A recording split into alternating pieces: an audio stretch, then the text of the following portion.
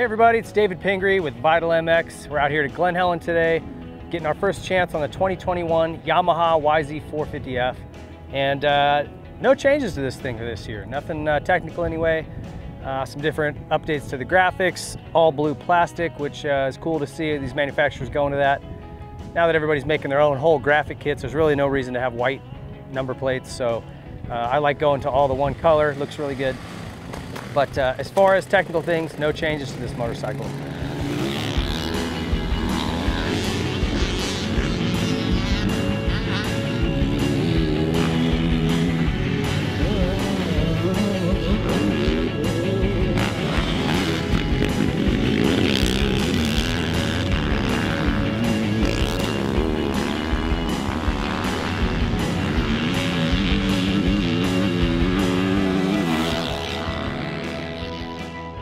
2020, the Yamaha 450 won the vast majority of the shootouts with different magazines websites and uh, all the members of the media, people, a lot, of, a lot of people bought this motorcycle and really like it. So they kind of kept the same package this year. Uh, there are some things though, in terms of setup and things like that that we want to share.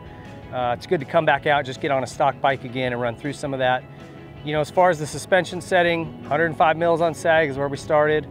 I did a couple of clicks out on my compression just to soften it up front and rear, uh, quarter turn out on my high speed in the rear. And the big change that I made, that was really just to get a more of a plush feel. Today, lots of hard chop. This track was really beat up. So trying to just get it to be a little bit more uh, stable through the little chatter and chop and braking bumps. And I achieved that with just clickers. The suspension on these bikes is amazing. Uh, but I will tell you this, Yamaha has four different options for handlebar positioning on this.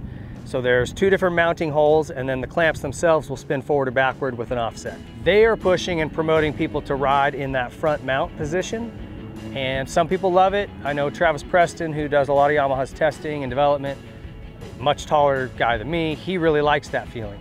For me, I feel like it, it really accentuates the one issue I've ever had with this generation of Yamaha, and that is sort of a, a, a weighted nervous front end feeling. When I go to the, any of those forward positions, I just feel like I'm, uh, I've got too much weight on that front tire and when I go from accelerating to off the throttle, I get a really nervous feeling in the front. As soon as I bring it back to the, the rear mount, problem goes away for me. So it's a huge difference and if you're getting on and you're having that feeling like your front end is nervous or wants to tuck, try that. Uh, bring your mounts back to the back position. From there, you can do a, a forward or backward position. So there's essentially four mounting positions and I'm in the second one from the from furthest back. So for me, that works great. Uh, if you're somebody who likes to really ride off the back of the bike, you might like the further back one.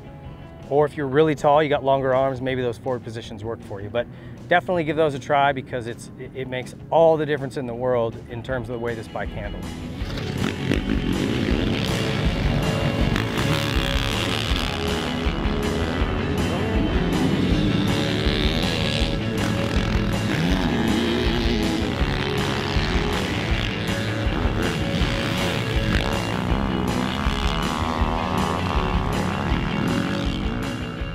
Another thing is the maps. So this bike comes with uh, loaded with two maps and uh, you can get a Yamaha power tuner and just change those into any number of, of maps that you'd like.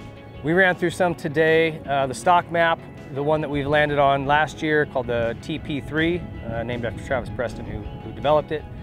The TP3 is much more aggressive, a much more responsive, racy setup. Stock one a little more conservative. But I found today at Glen Helen here, because the lines were blown out, there's a lot of a hard, slick base underneath, they're putting water down, it's very slick.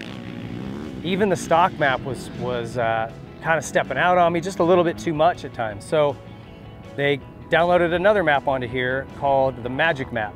And you'll be able to find that at Yamaha uh, on their website, and it will be called the Magic Map. So give that a try. That's where I landed today. Uh, it was literally just developed in the last 48 hours but it's uh, just even smoother than the standard mapping. It's just a very smooth linear powered layout. And so I found for me, I was able to, to make fewer mistakes, roll out of turns. This motor is so potent that it's, it's critical that you deliver it in a very smooth way. Even with that, that map, I never was wanting for more power. If I ever wanted more, I just turned the throttle more. but it just allows you to modulate it and control it a little bit better than even the stock map. So if this is my motorcycle, I'm taking it home, I'd put the TP3 map on one for days where the dirt's deeper, there's a lot of traction, big hills, elevation, whatever it is. And then I'd do that magic map for days like today where it's slick, uh, maybe it's maybe it's muddy slick, uh, but just less traction. So I, I highly recommend looking that up on Yamaha's website and checking that out. Only complaint I have about this motorcycle, it's been the same for a long time, is these grips. They're bulky, they're tough on your hands. They'll last you like an entire season, but uh, at the cost of the skin on your hands. So I would recommend going to a different grip, something a little softer. But that's it. I have no other complaints about this motorcycle. It's fast. It's it's got a lot of uh, uh, changeability. If, if you're a taller rider, shorter rider, there's a lot of range for adjustment. So it can suit a, law, a large number of riders and, and a large number of skill levels too, from beginner to expert. Comes with great parts. Yamaha is known for their reliability. You just really cannot go wrong with this bike. And as I said, the vast majority of the shootouts last year were won by this motorcycle.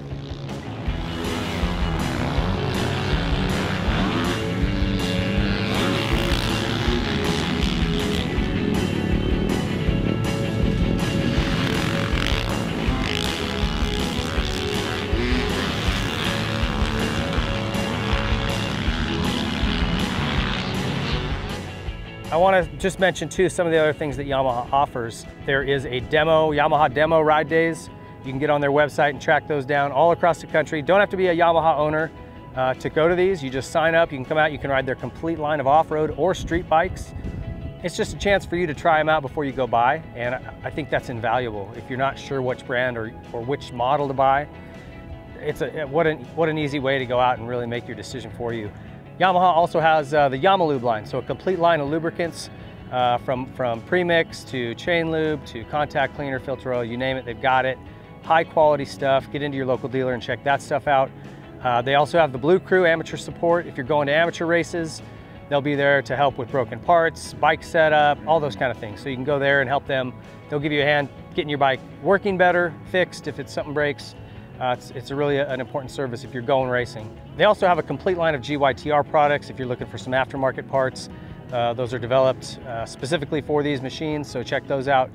And this year's bike, it has come in the past in different colorways. This year's no different. They have a, a Monster Energy model that comes with Monster Energy logos on it, some black plastic, look a little nastier if that's what you're into. So uh, check out everything that Yamaha's offering. It's a great motorcycle, it's proven and uh, we had a blast on it today. Thank you to Yamaha for having us out.